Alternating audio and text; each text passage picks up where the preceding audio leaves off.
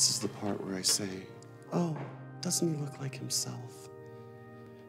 He looks like a roided up salt shaker. Shh.